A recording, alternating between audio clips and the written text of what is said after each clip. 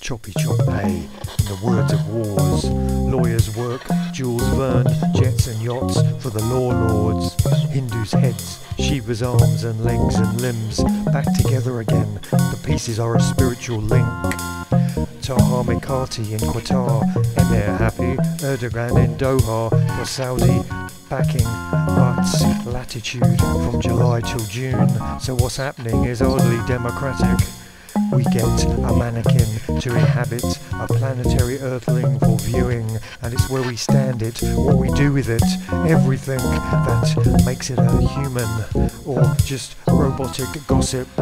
Win or lose, it's just nuclear fission, space hoppers in hot bodies.